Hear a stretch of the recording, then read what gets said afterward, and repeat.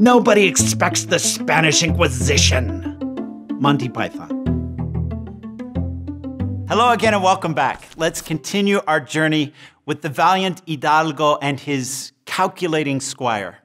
Notice how beautifully Cervantes manages to weave into his pastoral parody the same north south problem that he so often weaves into his chivalric parody. At the end of his list of musical instruments for their new pastoral lifestyle, Don Quixote adds a Moorish instrument. He explicitly notes that this is awkward, but in accord with Cervantes' pro Morisco attitude throughout the novel, the Hidalgo delights in the mixture. Well, and what if among all this musical variety we hear the sounds of the albogues? Then we would have almost all the pastoral instruments. Hilariously, Sancho is perplexed by this last detail. What are albogues? he asks. Don Quixote describes a multi tubed flute like instrument as problematic but still most acceptable accompaniment for the other instruments. It makes a sound which, if not completely agreeable and somewhat dissonant, does not cause displeasure and goes well with the rustic sounds of the bagpipes and the tambourines. This is clearly a metaphor for the mixed cultures of Spain, which Cervantes feels should still include the Moriscos. Confirming our interpretation, Don Quixote now launches into a long lesson on historical linguistics, which emphasizes the Arabic influence on Spanish.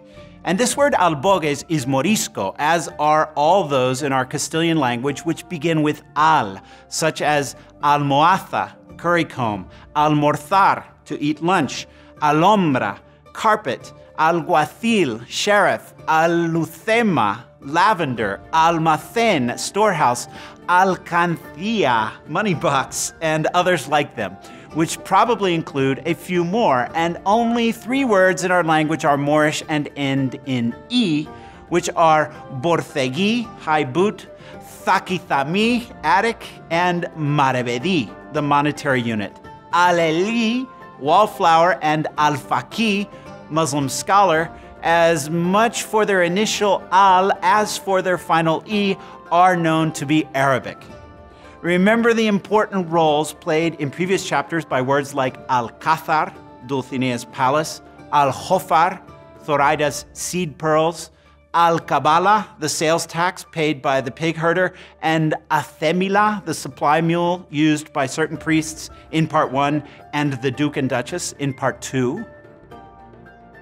Sancho continues to embrace the pastoral idea Interestingly, however, he points out that the newly chosen genre also has its dark side its rape, murder, and death.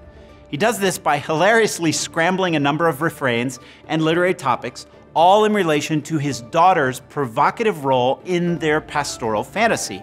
It's a marvelous passage. Did you know Besides Cervantes, Luis de Góngora also makes reference to the albogue in his Fábula de Polifemo y Galatea, 1612.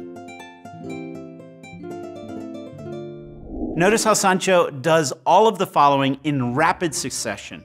First, he recalls the aggressive desires of Grisostomo or Eugenio. Second, he cites the same anti imperialistic refrain used by Don Quixote's niece. Third, he refers to Antonio de Guevara's contempt of court and praise of village of 1539. And four, he alludes to Horace's famous Latin phrase about death as the greatest equalizer. My daughter Sanchica will bring us food to our hut, but watch out. She's good looking, and there are shepherds more wicked than naive, and I wouldn't want her to go for wool and come back sheared. And also, love and wayward desire inhabit fields as well as cities and pastoral huts as well as royal palaces. After all this, Sancho strings together a series of refrains that appear to have nothing to do with anything other than his love for refrains. The exchange grows even funnier when Don Quixote again criticizes Sancho's abuse of refrains. No more proverbs, Sancho. But the Hidalgo ends up using Proverbs himself, which causes Sancho to point out his hypocrisy. It seems to me that your grace is like what they say that's the frying pan calling the kettle black. This is all very funny, but there is anti authoritarian, anti inquisitional, and anti racist meaning here as well. Sancho has brought up the issue of miscegenation via his concern for his daughter. He has also indicated that there are evil men everywhere. He has used the same quote from Horace that Cervantes used in the first prologue to challenge the artificial nature of social hierarchy.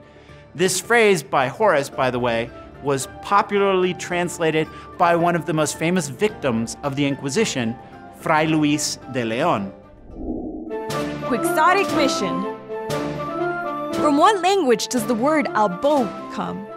A. English, B. German, C. Arabian.